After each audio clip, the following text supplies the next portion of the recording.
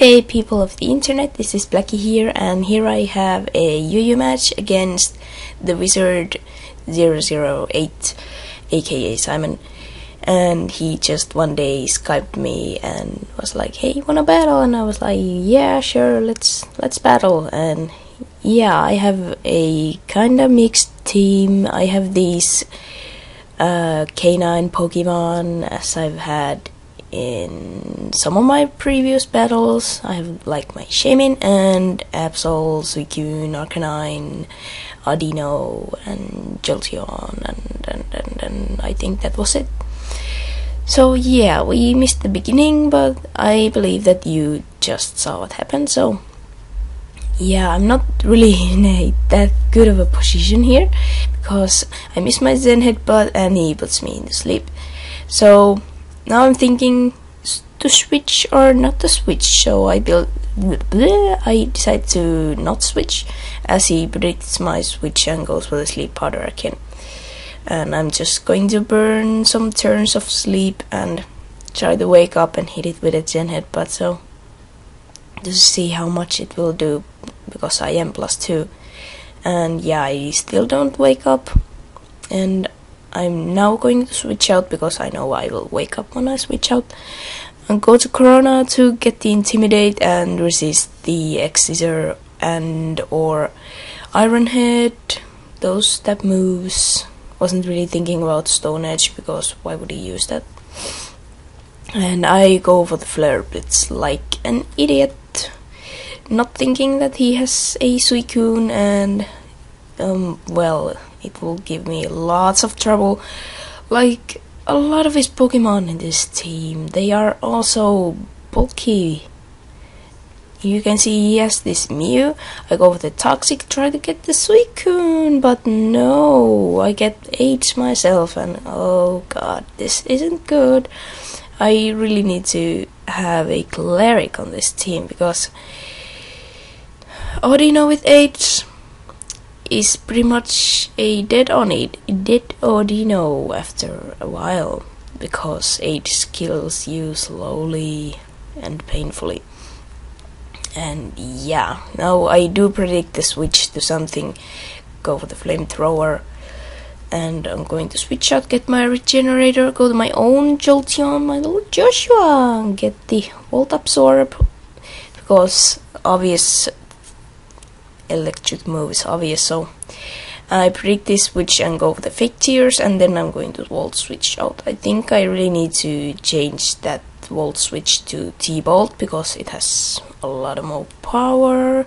But volt switch is kind of handy in some situations, like this one, because I really wouldn't want to stay in on a Snorlax anyway, because I don't have anything to hit it, at least not hard. So went to my Suicune fishing for the burn it's called well of course it doesn't happen because uh, I have lots of uh, unlucky hacks in this battle. Well at least not, not that much but a bit. It's not really going in my favor at all.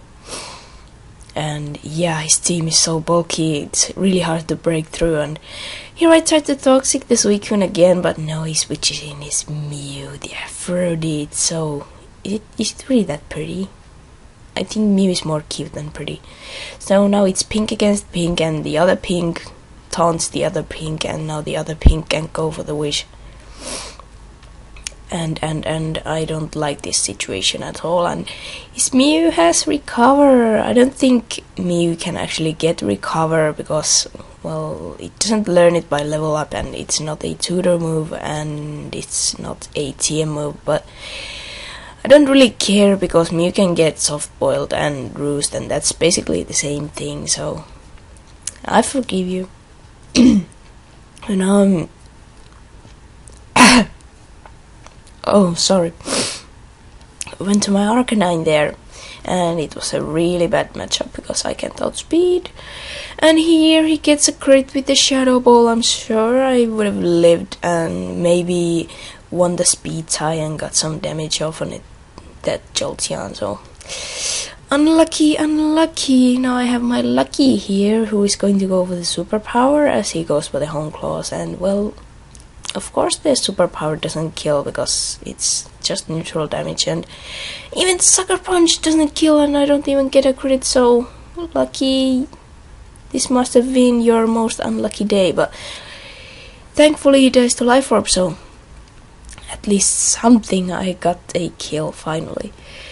And yeah of course the Jolteon has hidden power ice and yeah, I was fearing earlier that it would be specs, and this kind of confirms it because normally it wouldn't do that much much to a Shaymin. So now it's pink against pink again. Oh my god!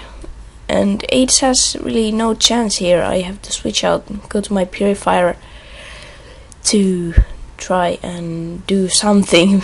and I do predict the taunt. That's why I switch out because I don't want to stay in with Audino because the toxic will rack rack up and everything. So now he shows me that he has the Will-O-Wisp and um, well residual damage is residual damage. Purifier doesn't really mind that much because it has rest. But now he's switching out back to his Hera the Jolteon and I don't take it out because I have no special attack investment. And I have no I have no chance but to leave Suicune in as Deathfather so I can get a free switch into something because well nothing likes to take a T-Bolt. And now I go for the extreme speed, try to kill the Jolteon, but no, he's switching out again and I go for the Flare Blitz. And it doesn't kill because thick fat. But I do get the burn so we both died it's a double down, and so far I've beaten two of its Pokemon. Two. And he still has this thing left with full HP. I could give it 8, but I just figured let's flamethrower it because the special defense isn't that good on Tangrowth and it's super effective. But I'm kind of thinking he might have the protect and just Leech Seed toxic stall me so kinda afraid of that but he's switching out once again. Uh, switching out and Leech Seed toxic racking up. And now he goes for the volt switch and switches out again. Goes for the goes to the Mew. Come on Audino. No it doesn't kill. So Audino is my last Pokemon and here the toxic will kill me so that will be a good game. So yeah good game. The wizard 008 it was a not that good of a battle in my part but yeah I don't really mind. It's it was still a fun battle and lots of switching shenanigans and yeah, I gotta admit that switching really got on my nerves and um, yeah. Why you switch so much? I don't like it.